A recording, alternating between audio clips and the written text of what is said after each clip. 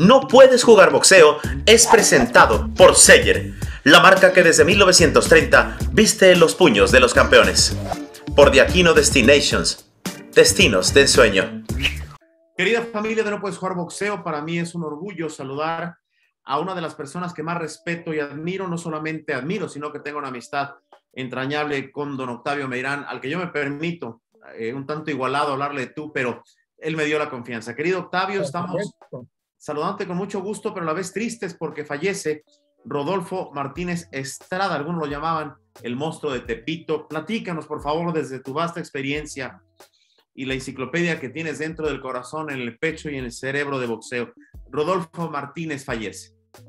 Pues me acabo de enterar hace unos minutos que prácticamente eh, entró en tiempo de, esta ah, plática eh, y pues sí, lo, con tristeza se lo comenté de inmediato a mi esposa, porque yo consideré a Rodolfo Martínez un gran peleador, un peleadorazo, debo de decir, un peleador que eh, en, ambas, en ambas guardias lucía, tanto la zurda como la derecha, tenía un, un ángel, de, tenía carisma, eh, muy siempre muy platicador, yo lo veía con frecuencia en la Arena Coliseo con, con Don Lupe Sánchez, que fue su manager. Fue el primer eh, campeón que tuvo Don Lupe Sánchez, creo recordar.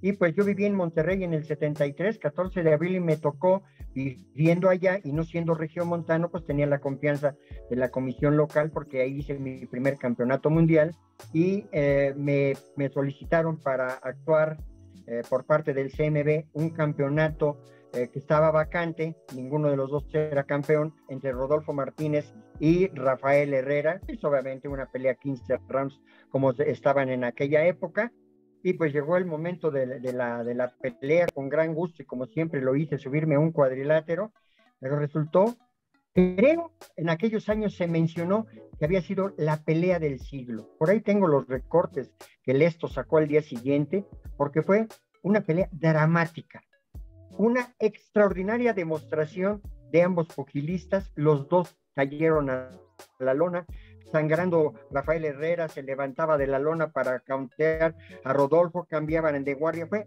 un peleón, un peleón tan así que está considerado dentro de las cinco a nivel mundial, dentro de las cinco mejores peleas eh, por el dramatismo que tuvo esa contienda en aquellos años.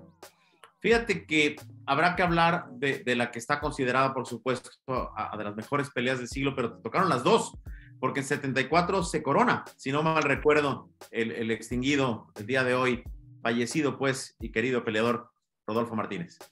Eh, se, corona, se corona en el 74, me tocó la misma pelea eh, en Mérida, Yucatán. Eh, en aquella ocasión, pues sí hubo un, un, ¿cómo le podemos decir? Una protesta del señor George Parnassus, que eh, representaba junto con, eh, con el licenciado Torres Landa, Juan José Torres Landa, mi querido amigo, eh, estaban descontentos porque le detuve la pelea a, Rafael Herrera cuando Rodolfo lo derriba. Creo recordar en el cuarto round, eso sí, tengo un poquito ahí un, un lapsus. Creo que en el cuarto round veo, se levanta Rafael, le pregunto que si está bien pero el momento que me dice que sí, los tobillos se le doblan y le detengo la pelea. Se armó un broncón de aquellos, pero bueno, así se coronó Rodolfo Martínez y tú sabes que así es el boxeo. Completamente, completamente de acuerdo contigo.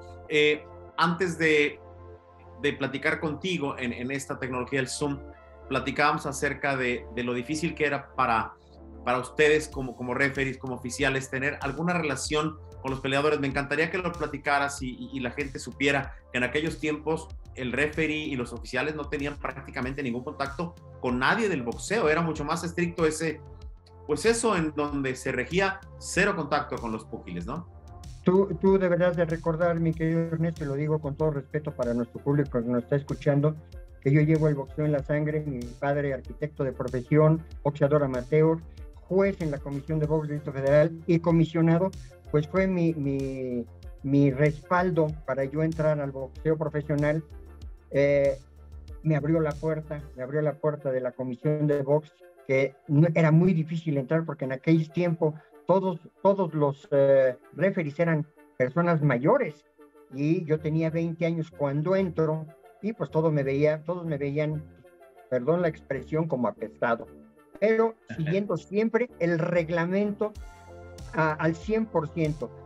El oficial, llámese juez o referee en aquel tiempo, tenía totalmente prohibido tener relación con peleadores, con empresas, inclusive hasta con algunos eh, eh, periodistas que eh, en esa época pues eran un tanto cuanto difícil acercarse a ellos. Claro que dábamos la entrevista siempre con mucho respeto, pero nosotros no buscamos, no buscábamos la nota, el periodista nos buscaba para poder hacer y yo fui creciendo de esa manera gracias a las oportunidades que recibí, pues de todo el mundo, no de mi padre, mi padre nada más me abrió la puerta, lo demás yo me lo gané. Qué maravilla. Yo te quiero rogar, eh, retomando el tema de lo que es, eh, bueno, esta pérdida enorme para el boxeo, lo publicaba su hija temprano, eh, que se va Rodolfo Martínez Estrada. ¿Recuerdas de esa, de esa segunda pelea en Mérida, en la Plaza de Toros Mérida? Eh, alguna anécdota que nos quiera regalar cuando fuiste a verlos al vestidor, a los dos, pero algo en particular de Rodolfo. Fíjate que en aquellas épocas no se iba todavía a los vestidores a dar las instrucciones, se daban en arriba del cuadrilátero, todavía no entrábamos en esa, en esa dinámica que después fue muy positiva desde mi punto de vista, pero no, desafortunadamente, y eso fue una situación un tanto cuanto difícil como anécdota, lo, lo comento, eh, después de la función, pues fuimos a, a Leonardo Benjamín González Márquez, que era el representante de la Comisión de Box local, eh, local digo, del Distrito Federal, que era eh, nombrado en ese tiempo, tú sabes que la Comisión de Box del Distrito Federal pues partía, por decirlo de alguna manera, el queso en los campeonatos nacionales, y pues Rodolfo Martínez, siendo mexicano, siempre había un representante de la comisión que era la que regía en aquel tiempo en la República Mexicana, independientemente del licenciado Sulaimán y de otras personalidades del CMB, llegamos a cenar al mismo restaurante y pues la verdad, a mí me, me, me, resultó un tanto cuanto eh, difícil estar en el mismo restaurante con el campeón y yo le dije a don Benjamín González Mar, ¿sabe qué, don Benjamín? Yo no puedo estar aquí, eh, se va a, a, malinterpretar si yo vengo al mismo restaurante donde están festejando el campeón, yo me retiro y me retiré y me fui al hotel y don Benjamín se quedó ahí en la, con, con, el grupo de, de, don Lupe Sánchez y el resto de su equipo con Rodolfo Martínez. Yo me retiré por discreción. Eso es una buena anécdota. Maravillosa anécdota que creo que no se había platicado. Y no, nadie lo sabe. nadie, mira qué bonita anécdota. Yo quisiera rogarte, querido Octavio, con, con la promesa, al menos de mi parte, solicitándote que nos extendamos en una plática pronto del boxeo mundial, pero sí cerrar esta charla del día de hoy nuevamente agradeciendo tu tiempo, para que nos definas eh, el tamaño de la pérdida que tiene el boxeo de México, pero sobre todo el tamaño de peleador que fue, porque sé que eres un hombre eh, entregado al boxeo, creo que al igual que yo desayunas, almuerzas, comes, cenas y seguramente en la madrugada si te da hambre también. es correcto. Pues bueno, ¿qué, ¿qué, más podríamos decir de Rodolfo Martínez? Creo que lo que hemos comentado ha sido eh, muy, muy vivificante pero pues el crecimiento que él tuvo a lo largo de su carrera con la calidad de boxística que tenía, porque, eh, repito, tenía la coordinación necesaria como para dominar ambas guardias, siempre muy luchidor, siempre muy preparado, nunca como todos los peleadores de Don Lupe Sánchez, siempre llegaban echando excelente condición física. Era lo primero que la Manzana Sánchez, el ayudante y brazo derecho de don Lupe Sánchez, eh, tenía de preparar al 100% a los peleadores. Siempre muy educados, siempre se, dirigía con los comisionados, con los oficiales. Yo no podría decir nada más de nada malo de, de él, ni como persona, ni como boxeador. Qué maravilla. Eh, cierro con esta pregunta que te va a encantar. ¿Es la división gallo la división que más gloria le ha dado a México para ti? Definitivamente. Definitivamente, porque, fue por muchos años, fue por muchos años.